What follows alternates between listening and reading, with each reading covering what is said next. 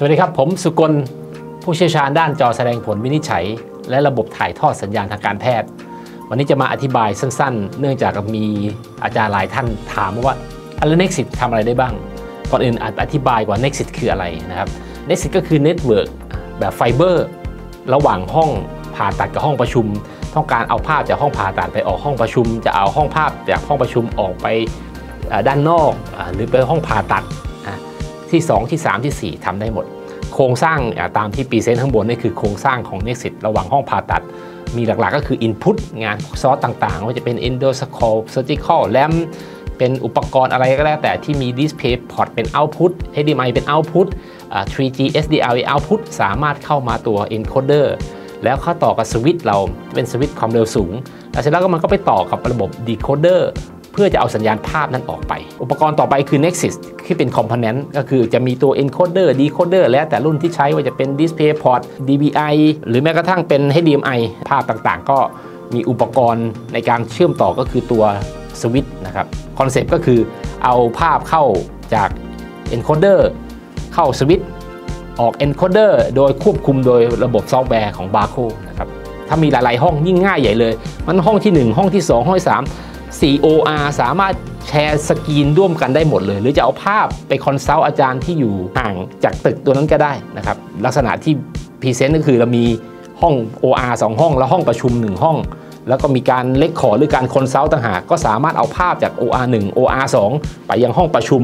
แล้วก็มา record หรือมาสกรีนดูว่าเอ้ยอย่างนี้มันควรจะออกได้ไหมหรือควรจะตัดต่อช่วงไหนนะครับอย่างที่บอกอะ Nexit มันคืออุปกรณ์ encoder decoder และขณะเดียวกันก็จะมีฝั่งหนึ่งก็จะเป็น encoder decoder สามารถสวนทางกันได้ทั้งภาพทั้งเสียงขณะเดียวกันนี่คือ1 product เป็น system ใหญ่ของ Barco เพราะนั้นตัวที่ 1 ก็คือ Barco system ที่เป็น network solution ของ ห้อง OR และก็ห้องประชุม Nexit เนี่ยยังมีสามารถที่ทำขยายต่อไปทำงานประเภทอื่นได้ เช่น ห้อง intervention ห้อง intervention คือรังสีรักษา สมัยก่อนเนี่ยถ้าเป็นเครื่องเอ็กซเรย์มันจะเป็นอุปกรณ์อะไรก็แล้วแต่เขาจะใช้จอของใครของมัน มีจอที่ 1 2 3 4 5 6 7 8 มี 8 จอเลย ปัจจุบันเนี่ย intervention ที่ใช้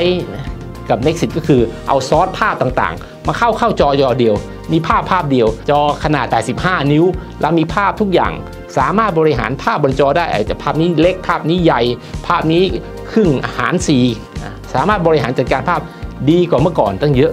และที่สำคัญก็คือเวลา maintenance ถ้าเป็นรุ่นเก่า เปลี่ยนจอมาบางทีทั้งสีทั้งความสว่าง ทั้งคุณภาพต่างกันเยอะ ดูก็ลำบาก เพราะฉะนั้น intervention ในการใช้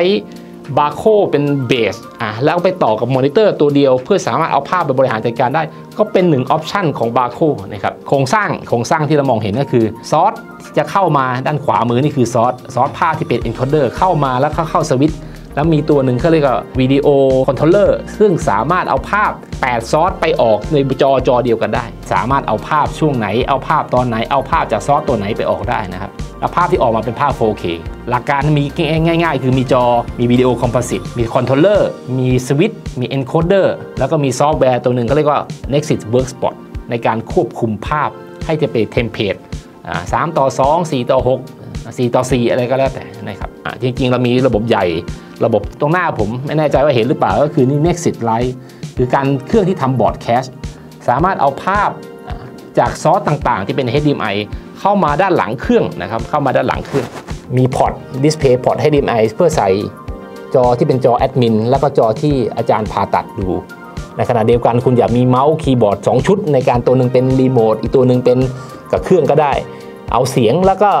ไมโครโฟนหูฟังและไมโครโฟนเสียบได้ เพราะนั้นอาจจะมี headphone มีซอสจากห้องผ่าตัด 1 ห้องผ่าตัด 2 หรือแม้กระทั่งจะเป็นภาพกล้อง PTZ ในห้องเข้ามา เสร็จแล้วก็บริหารในขณะเดียวกันก็มีสายระบบแลน2ชุด ต่อไปให้ cloud ระบบก็จะขึ้นไปอยู่บน cloudคนที่จะมาดูภาพวิดีโอที่มาจากห้องผ่าตัดก็เพียงแค่ล็อกอินมาเท่านั้นเองเพราะนั้นระบบนี้เป็น Nexit Live เพราะฉะนั้นสรุปในเบื้องต้นก็คือเรามี Nexit System ระบบใหญ่ ระหว่างห้องประชุมกับห้อง OR 1 2 3 4 5 ได้ไม่จำกัด แล้วแต่ความต้องการของอาจารย์ 2 ก็คือ Nexus สำหรับ Intervention หมายความว่าระบบเก่ามันเป็นจอหลาย ๆ จอรวมกัน ดูยากบริหารจัดการได้เปลี่ยนเป็นจอจอเดียว แล้วเปลี่ยนซอสเป็น encoder มีสวิตช์และซอฟต์แวร์ในการจัดการเพราะฉะนั้นภาพที่มาจาก encoder ต่างๆ มาออกจอจอเดียว นี่คือตัว intervention ตัวที่ 3 ก็คือ Nexxis Lite Nexxis Lite ก็คือ เอาภาพจากซอสทุกอะไรก็ได้ เข้ามาเหมาะกับการเรียนการสอนการถ่ายทอดข้อมูลทางการแพทย์ เพราะระบบมันจะค่อนข้าง secure เมื่อเทียบกับซอฟต์แวร์ทั่วไปในตลาดนะครับ เดี๋ยวได้ detail เดี๋ยวผมมาอธิบายอีกที ขอบคุณมากครับอาจารย์ สวัสดีครับ